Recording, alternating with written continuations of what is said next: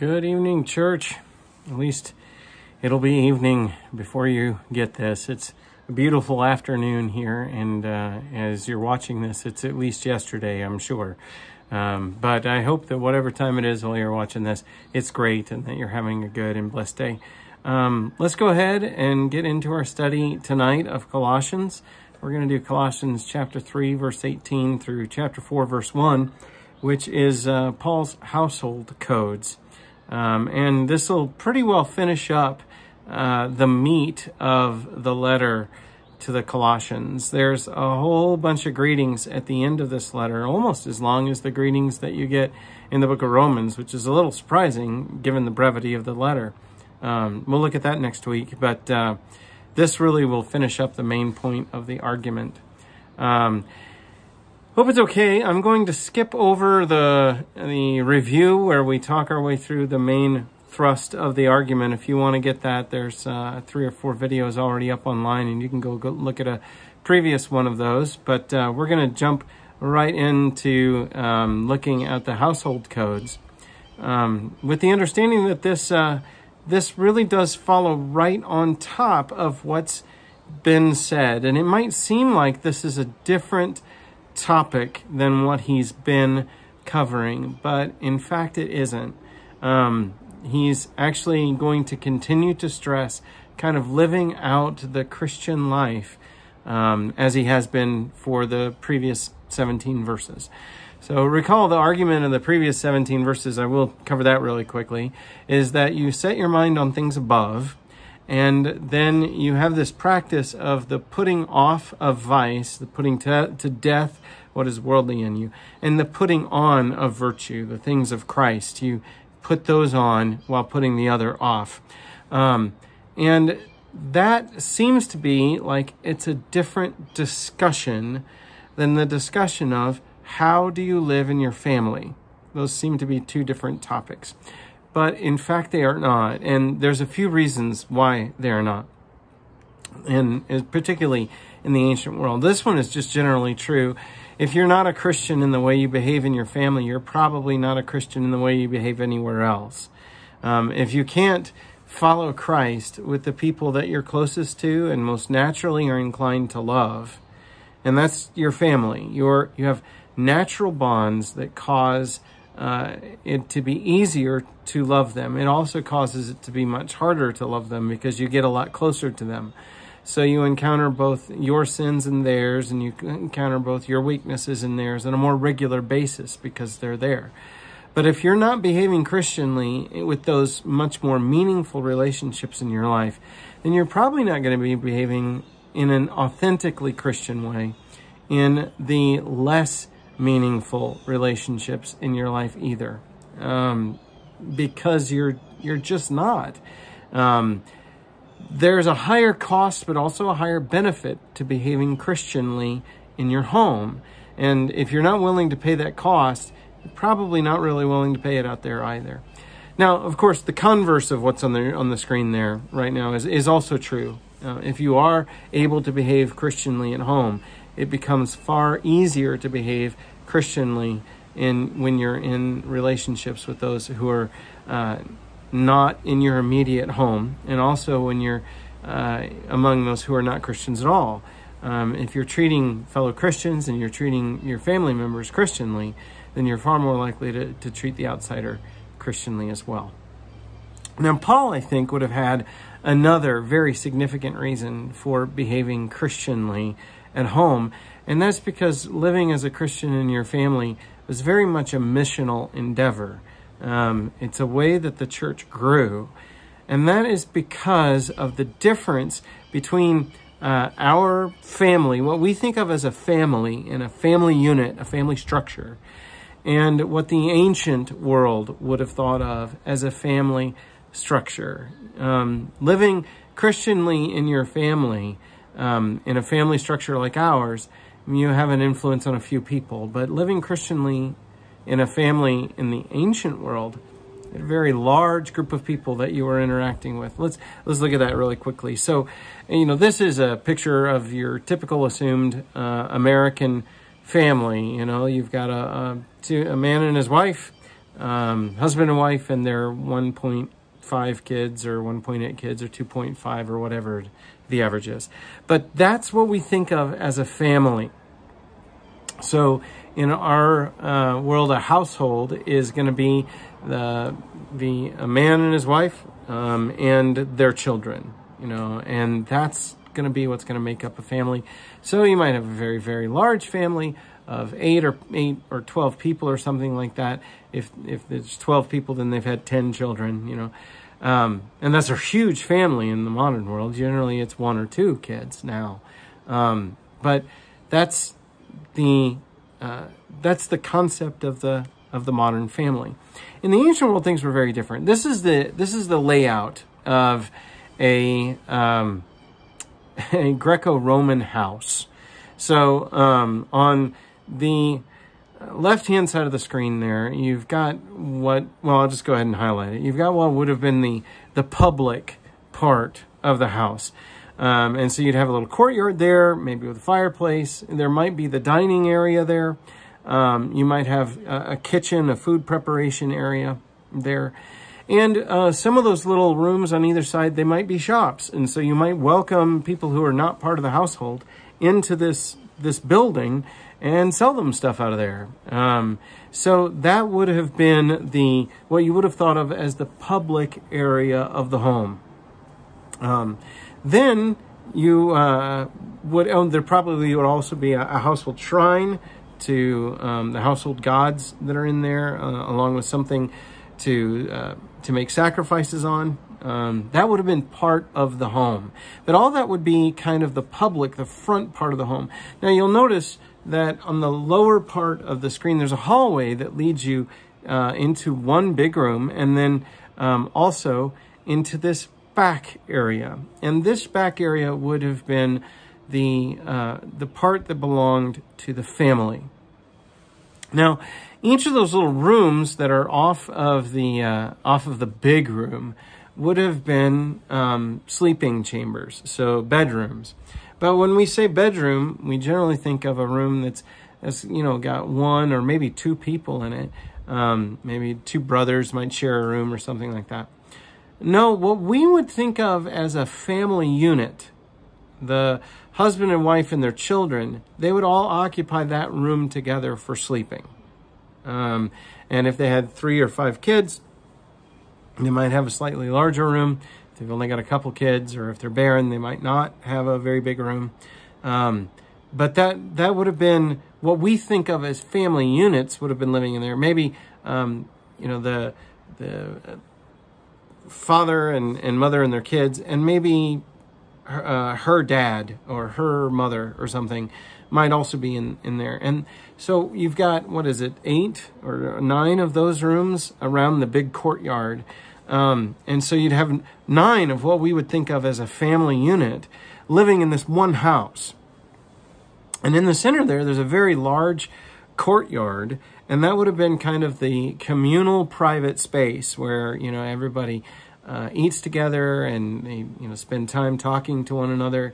Um, they're obviously all kind of up in each, other, each other's business in this kind of living setting. Um, that big space there in the middle might that might not have a roof on it at all.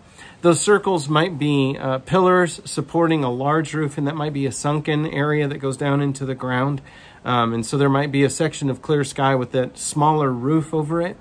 Um, and then you can step down and have lots of seating area there. That might be the private dining area. Um, and it might double as the dining area and also a gathering area. Um, and then, as I said, these, these smaller spaces, those are going to be your, your bedrooms.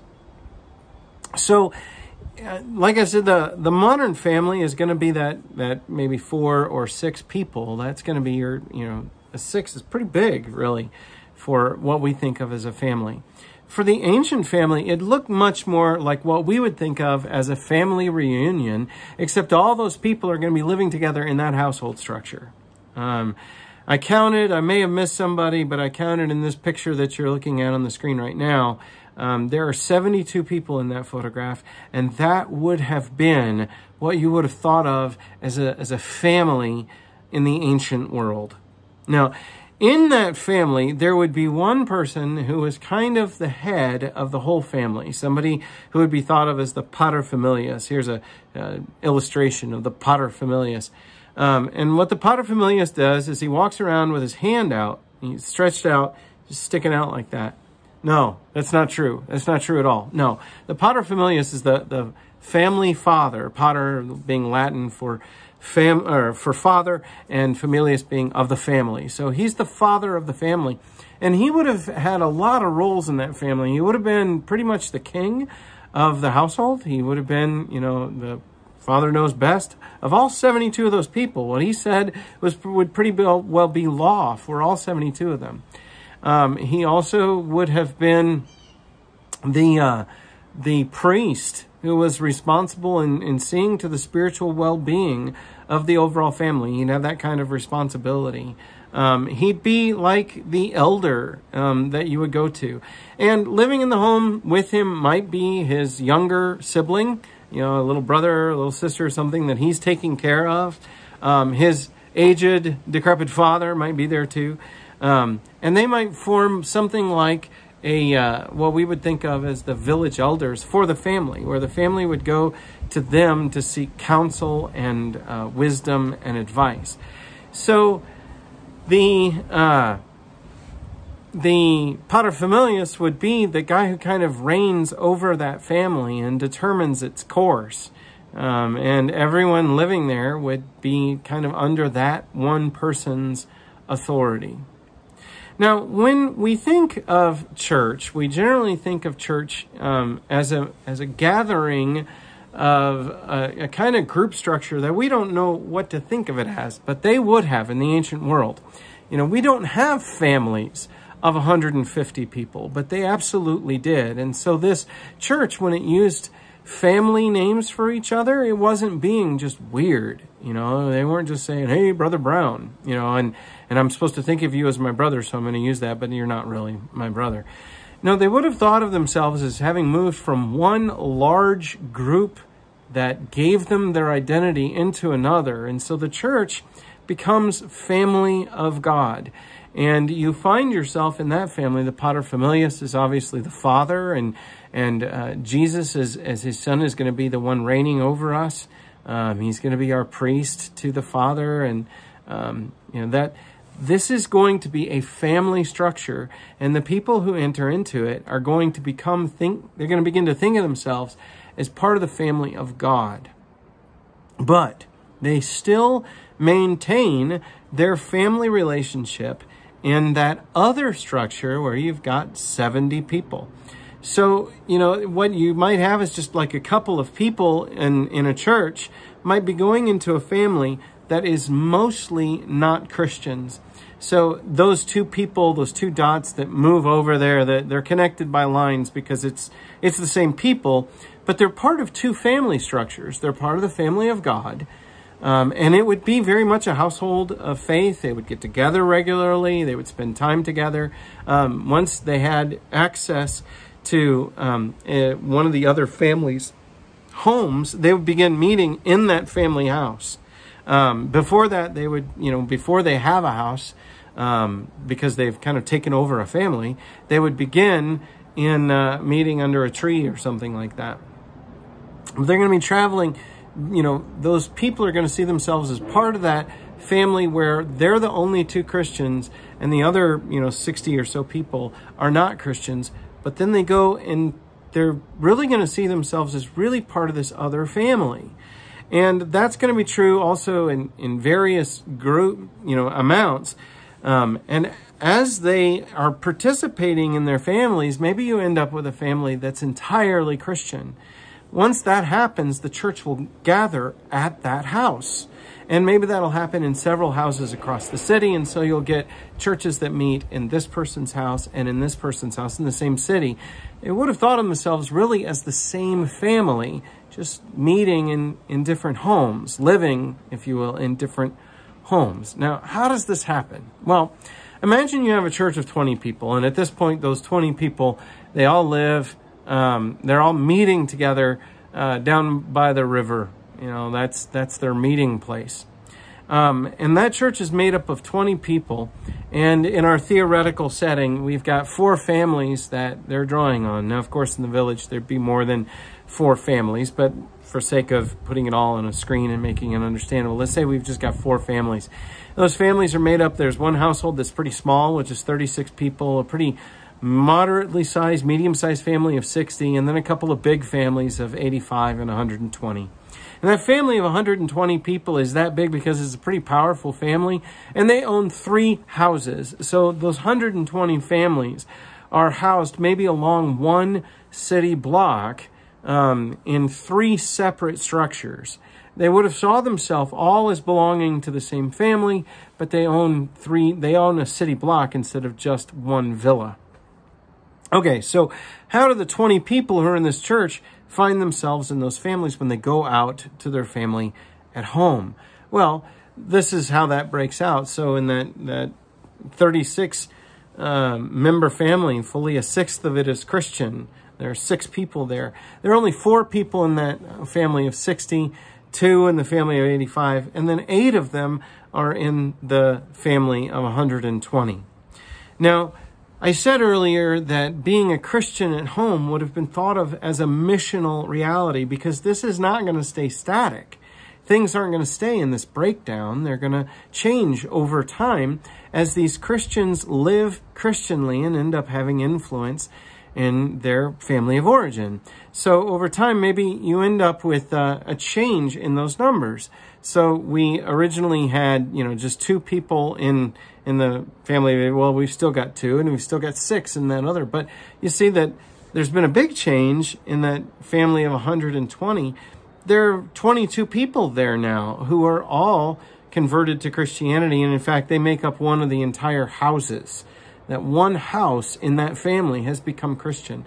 Now, that would have been a big deal to that family. They definitely would have felt it, and they would have been probably taking some movements against what was going on in their family, you know, the, the non-Christians probably would have been beginning to, to throw up some sort of persecution or resistance to what was happening in their family. Notice across town there in that group of 60, it's gone down. There's only three people now because the pressure put on those on those four would have been immense. And uh, and so maybe the one of them just decides, you know what, this isn't worth the kind of pressure that I'm getting.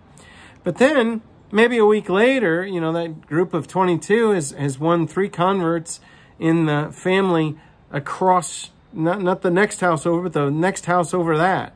You know, that they've convinced three people over there and it's beginning to grow. And the, the family of, of 85 has now grown to five members in there. But the big story, obviously, on this, this slide is the, uh, the family of 60 has suddenly all become Christian all at once. Um, they've gone from from four down to three, but then all the way all the way up to sixty. Now, how would that happen? Well, let's go back to our hypothetical family reunion photo and imagine that this is an ancient uh, gathering of Christians, um, not Christians, uh, an ancient pagan household where there are some Christians found in the household. And let's say that these uh, are the Christians. That you've got a, uh, um, a brother and a sister represented by the lady in purple and the guy in the blue shirt with the white stripe across it. That that's a brother and sister, and um, they you know they're there. But then also one family household unit, so a man and his wife and their two children, and there's your converted Christians as the whole thing begins. Now, just like in, in uh, any gathering of people this large, you're going to have relationships that are closer and relationships that are further more some that are that are more meaningful to you and some that are just more distant by nature. And some people probably that irritate each other that they don't like each other. So let's say that the sphere of influence of these uh, let's see one two three four five six seven people kind of looks like this that there there's a large chunk of the family that is not being touched by their Christian influence at all. But there is a large group of people that are under their influence. And this is where they're likely to eventually, if they're living Christianly in front of them, they're going to get somebody's attention and someone is going to go, Why are you so happy all the time? Or what is it about you that, you know, you guys have such a good marriage. What's going on? Because our marriage isn't as good as yours. So, and, and remember, these things are going to be very much on display. You don't go home across town at the end of the day. You go into a room at the end of the day. See, and you spend most of the day with each other. Okay? So, at the end of, you know, say several weeks, this family of people has managed to convert just one other person. But now the sphere of influence looks more like this, and almost the entire family is being touched by Christian influence now. And let's say the brother and sister have, have had uh, conversations with just this one guy and, and he becomes Christian. Well, now maybe the sphere of influence looks like this, where you've got an intensified area where they're all close, really close to the people in that, that, that kind of overlapping uh, set of circles. Now, let's say that the Potter paterfamilias is the guy there who is outlined in yellow, that he is the head of the entire house, not just of one of the little rooms. You know, he's the husband who's in charge of that family unit. He's in charge of the family. He's going to be the family king, family priest. You know, basically he's he's your your prophet. He is the family's guy and he sets the course for the family. And remember, he was in this cone of influence of these three people. And so maybe you've only got three Christians really having influence on them in a family of 72 persons. But let's say that they managed to con- convert that guy. Well, if that happens, then then what's going to happen in the family is you're not going to have Christians, uh, Christian individuals anymore. You're going to end up with a Christian family because if the paterfamilias converts, he's going to tell the family, "Okay, folks, we're a Christian family now." And everyone in that family is going to say, okay, what do I got to do? Now, obviously, you're going to have differing levels of commitment. I mean, Christianity was never a mass conversion um, without mental assent kind of religion. So maybe that guy there in the blue shirt, you see the one I'm talking about, maybe that guy is not real sold on this whole Christianity thing.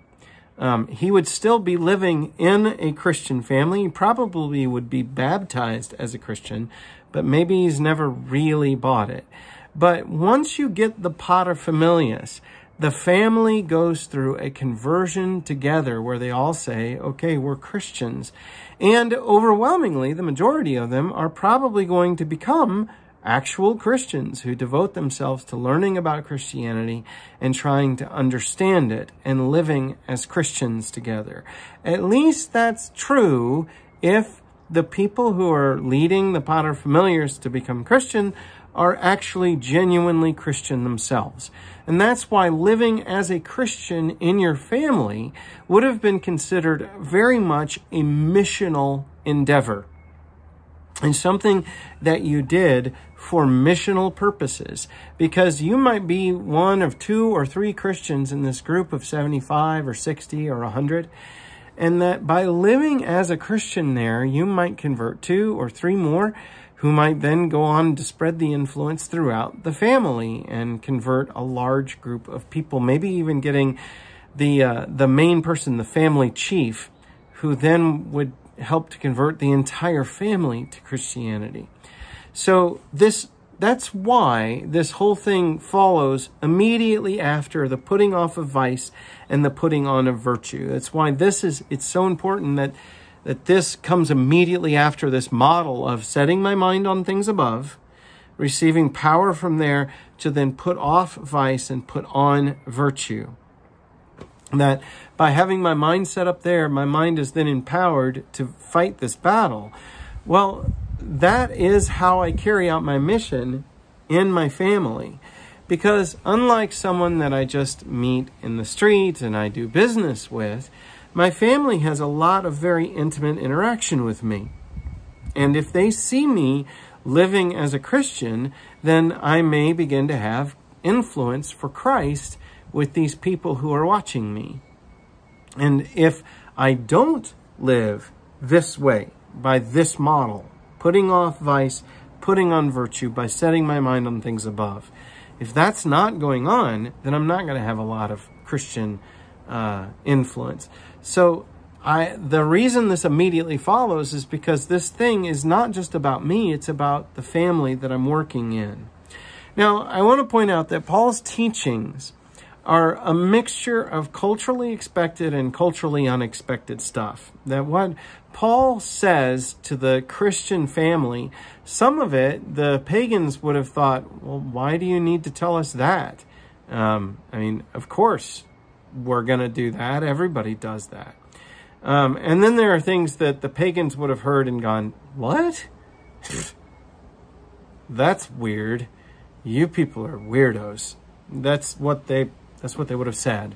So the culturally expected things are always given Christian motives. And so even though it's what you would have done anyway, you do that thing now not because um, you're, the world around you is telling you to, but because it's expected of you by Christ. And here's the Christian way to do this culturally expected thing so that that what might have been a cultural duty set upon you anyway becomes a way of living out your faith for Christ.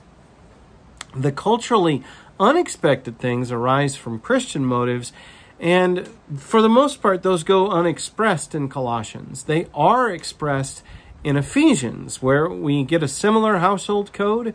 You get uh, there the uh, the emphasis is placed more upon the um, the unexpected thing. Husbands love your wives, and then he unpacks a ton of the Christian motive.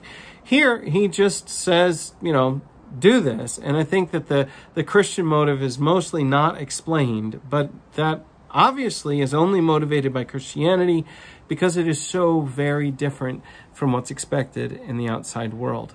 And the greater the challenge that's offered, the, the more the Christian motive is stressed. And this is particularly true in the final exchange. There are uh, three couplets here. There are uh, three different relationships. There's the husband and wife relationship, there's the father and child relationship, which obviously I think that would go for parent child too. And then there is the the slave master relationship because ancient households would have had uh, servants working in them. So those three couplets are, are put together. Um, and I think they're put together this way where the thing that, well, you're, of course you're going to do that is explained in terms of its, its Christian significance. The thing, what? Why would you do that? Is just told to the Christian and it's assumed you're doing that because that's of Christ. And then each time the, the more challenging there is, the more the motive is pointed out. So let's, all of that is prequel before we get into the, the household codes. The household codes are much shorter in Colossians than they are in Ephesians. Shouldn't take us very long to unpack them. Let's go ahead and get into that now. So we'll dive into the Christian household codes. Uh, Colossians chapter 3, verses 18 and 19 are the first couplet we'll look at, and it says, Wives, submit to your husbands as is fitting in the Lord, and husbands, love your wives and do not be harsh with them. Okay, so I told you that in each case you've got a thing that's kind of culturally expected and then a thing that's kind of culturally not expected. And the always the thing that okay, the culture would not have had would not have been shocked by comes first. So wives submit to your husbands in the ancient world. Um, that would have been like saying, water, make sure that you're wet.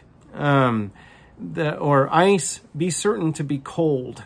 Um, the in the ancient world, the relationship between man and woman was, for the most part, I mean, it's not universally true everywhere, but for the most part, um, they did not live in an egalitarian world.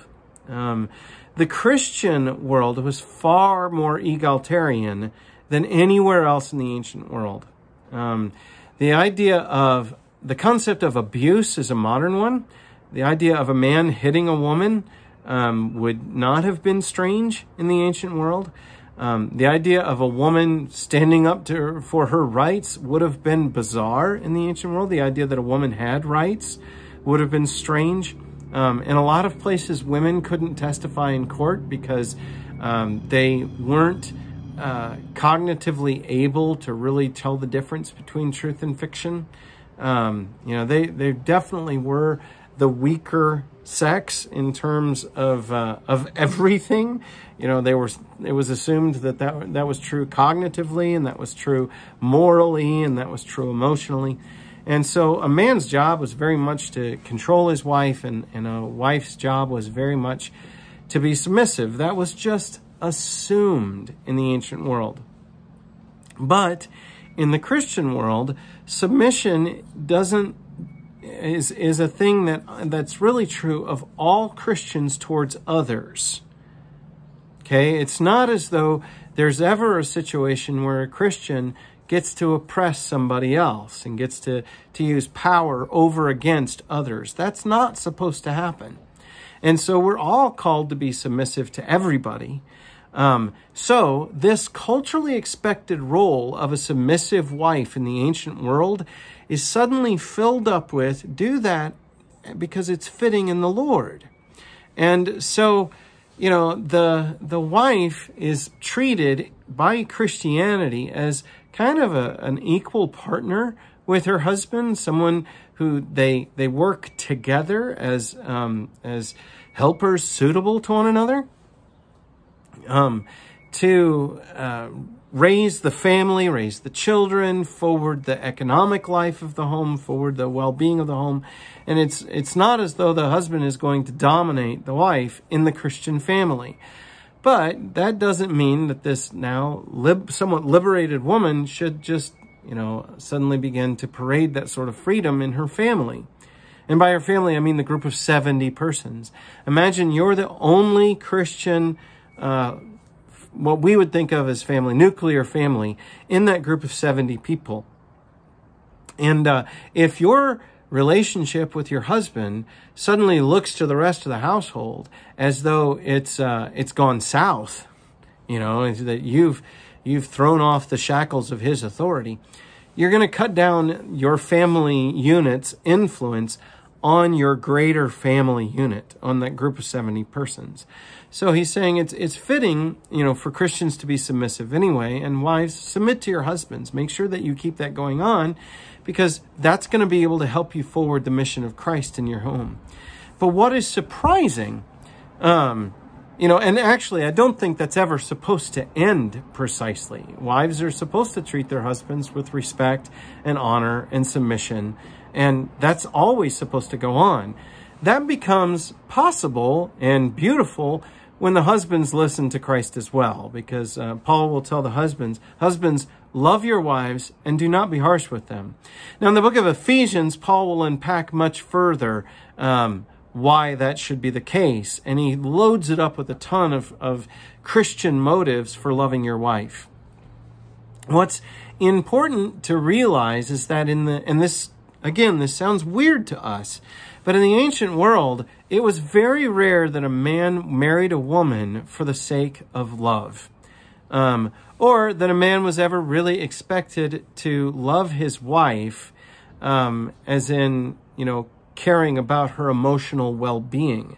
That wasn't a real big husbandly duty that was expected. In fact, it might even be seen as weakness. Rather than virtue, it might be seen as vice by the Greco Roman culture.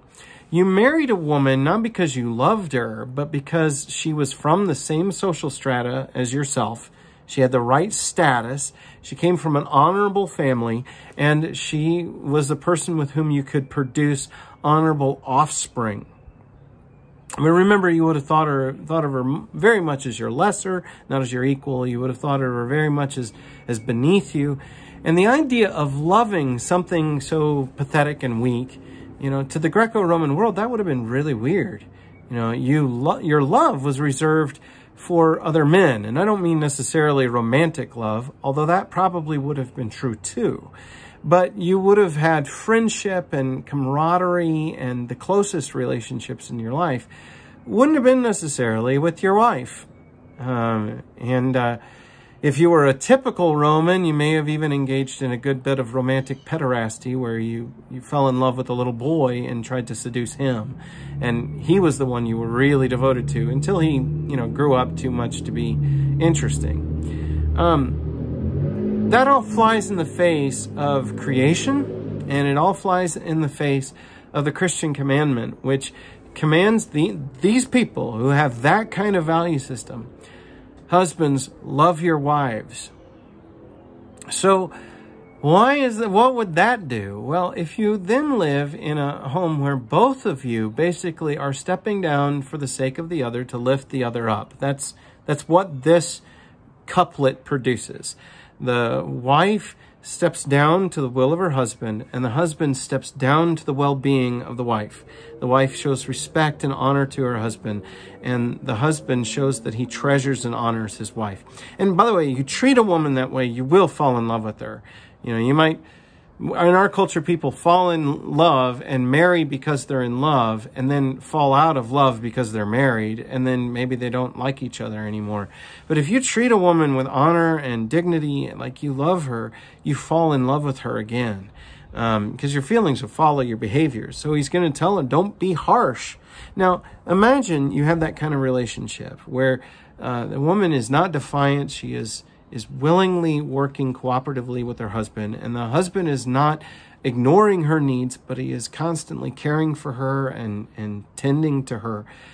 Now, probably the people who would first notice that in the ancient family would be all the wives of the non Christians. You know, all the non Christian wives of the non Christians. They'd be looking at your relationship going, What's going on? Because they have the kind of the losing end of the pagan relationship setup. That'd be one reason. Plus, women tend to be more emotionally attuned, and so they'd be paying attention and they'd see the beauty of your relationship, and they might point it out to their husbands. Um, but the men would then notice just how happy that man is. Um, because if you live this way, boy, you're both really happy. I mean, what is it that makes you happier than being in love? And so this commandment turns you into a kind of billboard for Christ. That everybody who watches your family suddenly starts seeing, wow, there's really something beautiful going on there. And then as the commandments go on, they expand out from the kind of the foundation stone for the whole family is always a marriage. Um, family is always built around a marriage relationship. It's why what our culture has done with marriage is really so crazy to just totally redefine it. Well, you can't redefine marriage without redefining family. And it, it really is an assault on the one thing that we took with us from the Garden of Eden, the one un, the one thing that predates the curse that we had is family. Um, and, but that family then, that, that marriage then becomes the foundation stone for the lives of a lot of people, namely the children who are born out of that relationship. So the commandment next moves, and note again, children obey your parents. That's like saying, ice be cold, fire be hot. You don't have options about it. In the ancient culture, that's just a given. That's going to happen. So children obey your parents. Um, that's, of course, they are, but no, the Christian reason is given. Children, obey your parents in everything, for this pleases the Lord. So, the children that we're talking about here, we're not talking necessarily, it would include, it would be inclusive of those who are five and six years old. But uh, obviously, they're less reasoning and less hearing. Here, you're thinking more in terms of the the adult children living in that little that little room and their dad is the paterfamilias who lives in the larger room that's by the hallway that leads to the back quarters. Um, the paterfamilias is, is going to be the parent over everybody. And now the one place where this would not be true is where they command you not to be a Christian. You know, they you disobey them then. But other than that, you obey that person. That is going to maintain that good relationship with the paterfamilias, and it's going to maintain a good relationship with, with really the entire family. But also the commandment obviously goes to young children, you know, obey your parents. Now, imagine again, you've got a household unit where it's a husband and wife and their kids. They're in the little tiny household unit in that larger family structure. And suddenly you're, the family becomes Christian and all the other families are noticing that, that their kids are being raised differently and are more obedient and more healthy than my kids. You know, my kids running around everywhere. Why is it, you know, uh, Severus, that, that your kids behave so well? You know, well, you've become a Christian. There you go. It becomes a billboard for the, that group of 60 or 70 people. He also says, Fathers, do not provoke your children lest they become discouraged. And again, that is not the ancient uh, pagan worldview of fathering necessarily. You know, an ancient pagan father was owed honor. And if he didn't get it, it was well within his rights to do just about whatever he wanted to to his children. But he's he's commanding the Christian fathers, you know, to be reasoning with their children lest they become discouraged. I take to mean something along the lines of lest they give up the faith, be driven out of faith. Um, but again, so your your marriage relationship is one that that testifies to the truth of Christianity, especially if both those people are doing the putting off of vice and putting on in virtue, so they're becoming people that are easier to love. They don't have the bad habits that make it hard to love them, and they have a lot of virtue that make them very lovable. So, because they're in Christ and they're drawing on His power, they're becoming increasingly lov- lovely people and lovable people. So their marriage is becoming stronger and more successful and more beautiful, and it becomes a testament to the rest of the family that isn't Christian that's looking at that family unit going, wow. And same is true of the father and children relationship. The father has the responsibility of raising up the kids uh, in the ancient world. And how does he carry that responsibility out? He carries it out Christianly, you know, filled up with love and mercy. And the kids are going to live obediently. And you don't think that's an amazing thing in the ancient world. I mean, that would have been amazingly beautiful. Then the next couplet is separated by several verses because um, there's a lot that's given to bondservants. Um, but it's going to be the relationship between servant and master. So you have uh, bond servants obey in everything those who are your earthly masters, not by way of eye service as people pleasers, but with sincerity of heart fearing the Lord. Okay?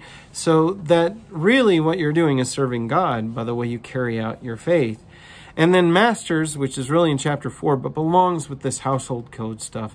Treat your bondservants justly and fairly, knowing that you also have a master in heaven. And so in this case, the Christian um, the Christian motive is expressed in the thing that wouldn't be expected of the worldly world.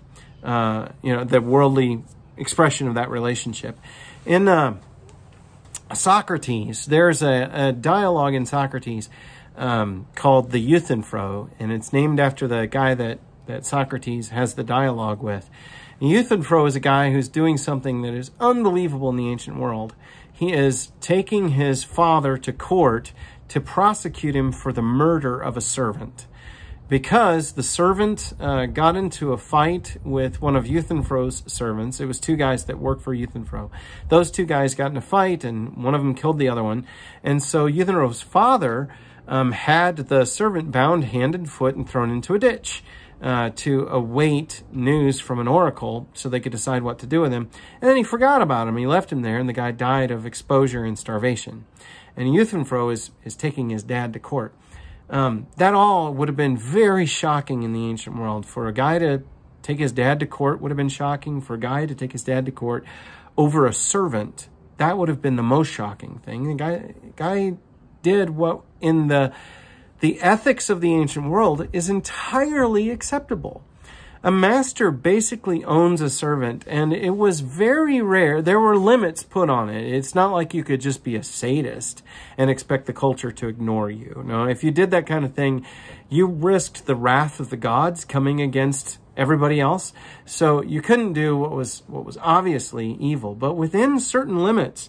Their lives were in your hands. You could bind them if they displeased you or if they did something that you thought was criminal, you could bind him hand and foot and throw him in a ditch, and nobody would have thought a thing about it. Nobody would have helped that servant. You know, that would have been absolutely within the bounds. Now, if you did the same thing to a freed person or to a Roman citizen, you can expect to encounter a flog. You know, the magistrates are going to come for you because that's not just or fair.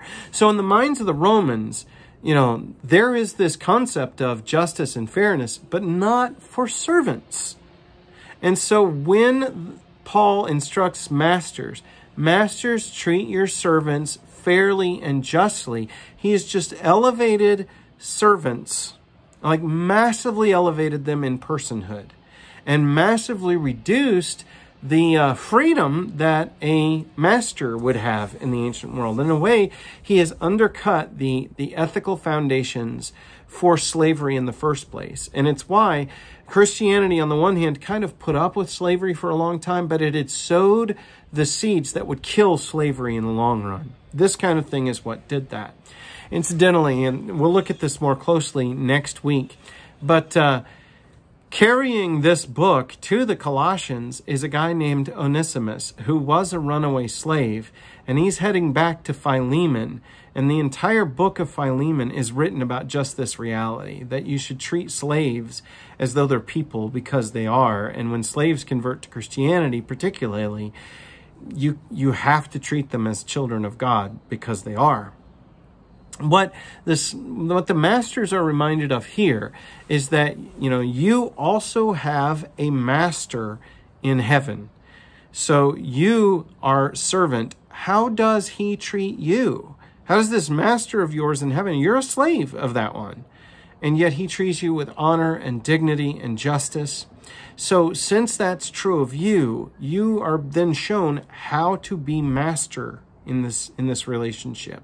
This person who works for you and does work in your home, you have to treat them with justice and fairness.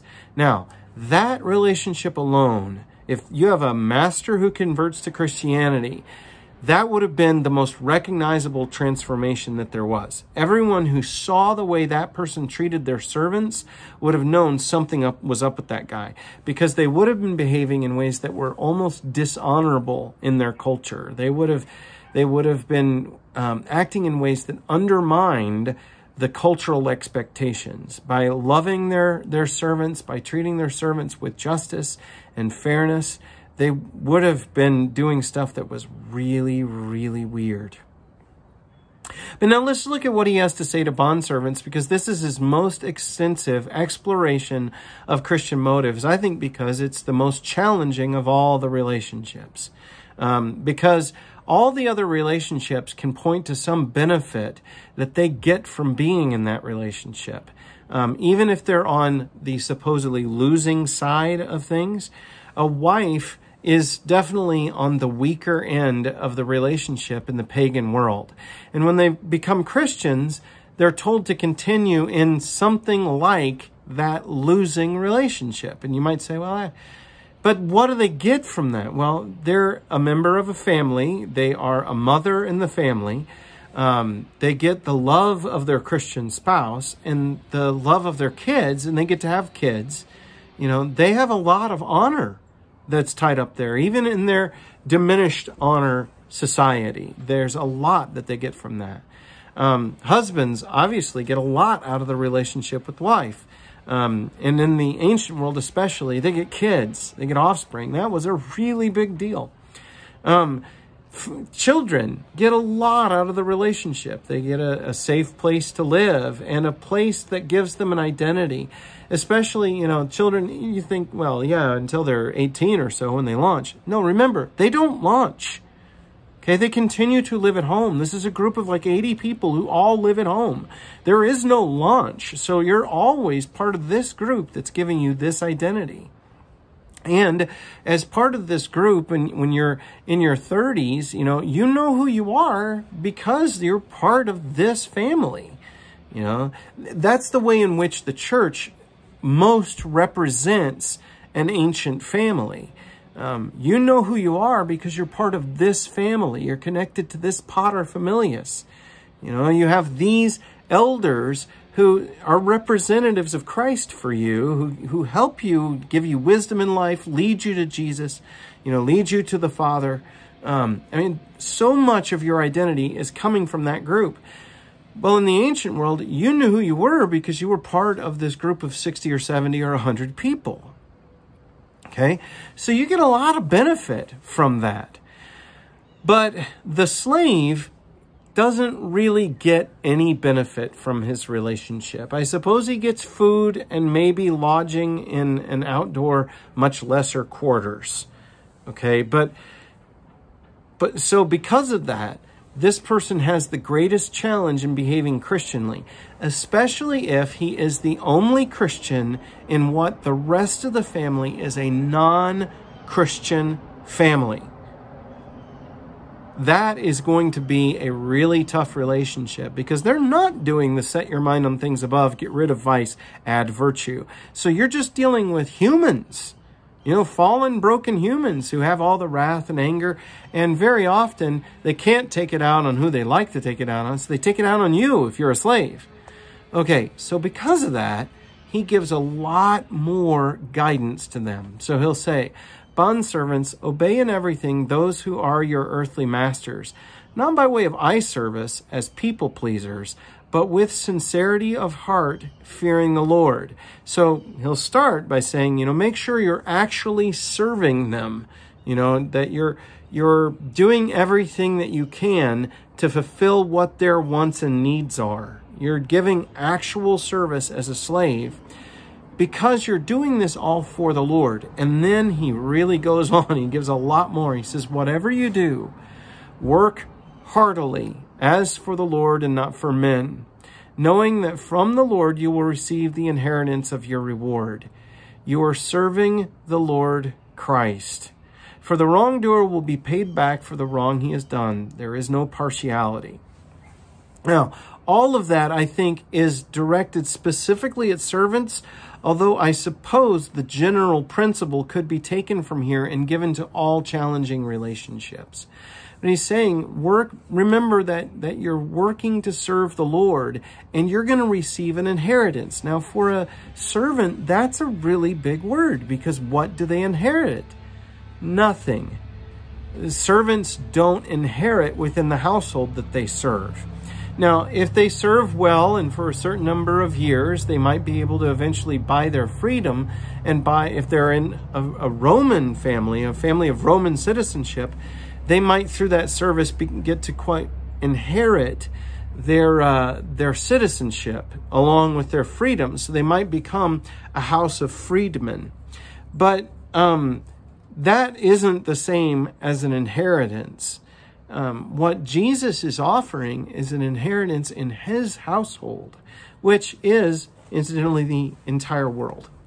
You know, that everything that exists is what we get to inherit. So he's saying, remember whose home you really belong to as you obey this earthly master. You're serving him, but you're really serving Jesus. Now, how on earth are you serving Jesus? Well, in part, you serve Jesus through every task that you do. But remember, Jesus wants to win over the people in that household for himself. He loves those people and he wants to give them, get them. So by your continuous act of goodness and kindness and mercy and love, your generous service to these people wins a hearing for the gospel through you. That that eventually somebody in the household who has more influence than you do is going to notice the kind of person you are and say, How are you doing that? Okay? So that's how you are serving the Lord Christ. You're serving Him both through what you do. Each act of, of physical labor becomes an act of service to the Lord. But also, you serve Him uh, by carrying out His mission because He wants those people. He would love to win everyone in the household that you're serving for Christ. And he'll say, For the wrongdoer will be paid back. There is uh, for the wrong he has done, and there's no partiality. And that's a way of, of the servant being able to deal with a really badly behaving non Christian master, or even a really badly behaving Christian master, God forbid. I'm sure it happened a lot, where the Christian or the non Christian loses their cool with the servant and beats them like crazy, binds them hand and foot, and throws them in a well for a day and then comes back and fishes them out. How do, how do I deal with it when I'm treated so unjustly? And he's saying, you know, just leave that to Jesus because Jesus is really good at this and it's not like he'll ever forget. He'll deal with it in his time and there's no partiality, meaning he's really good at this. He'll do what's right in the end. So you don't bear the grudge against the boss when the boss mistreats you. You just do what's good.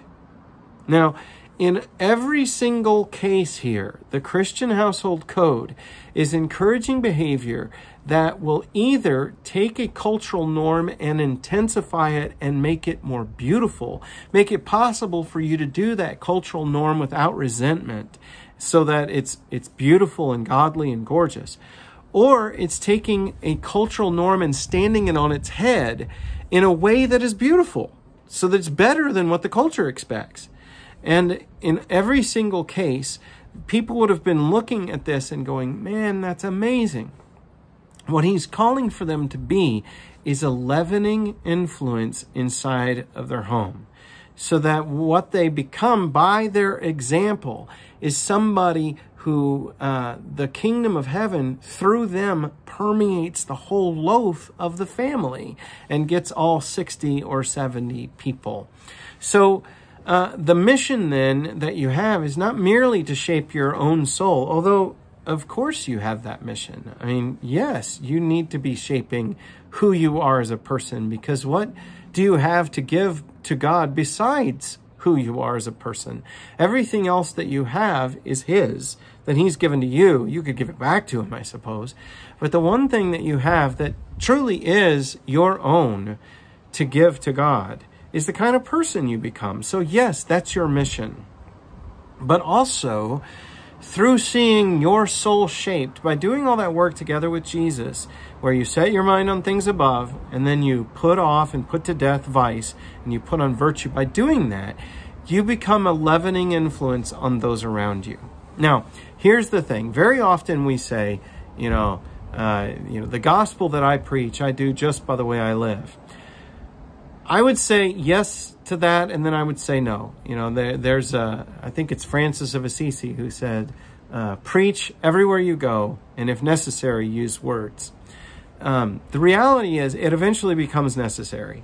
You know, if if you're actually going to persuade someone to believe the gospel, you're going to have to share with them why you do what you do. But what this what I believe all this is doing here in the book of Colossians is it's saying by living this way, and by this way I mean all of chapter 3, and really everything that we've looked at so far in the book. I mean, trusting in this this amazingly powerful person instead of your own wits and intellect and the things that you can learn, putting your trust in this this amazing man who is God and setting your mind on things above and then putting to death what's evil and putting on what's good by doing that, you earn the right then to be a servant of Christ in someone else someone else's life and share with them the good news about Jesus, about what Jesus has done for you. So all of these household codes become a way of living missionally.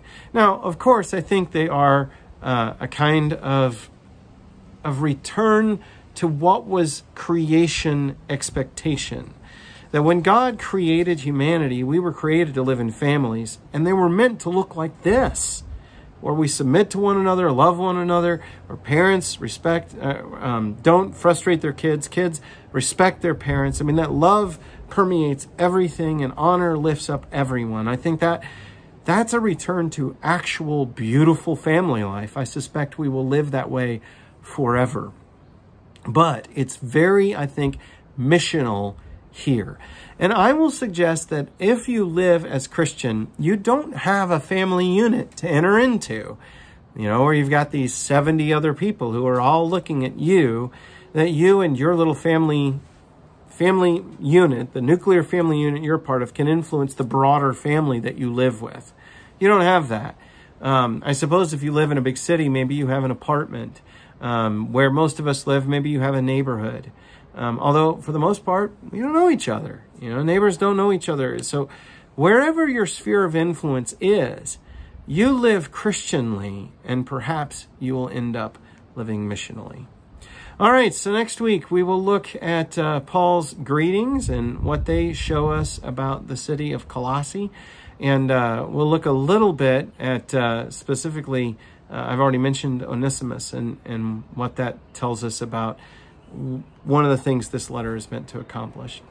Um, but for the most part, we have finished the uh, the overall thrust and argument of this letter as of tonight. So we'll be wrapping up next week. Hope this is helpful to you. Uh, God bless, And uh, I hope we get together really soon. God bless you.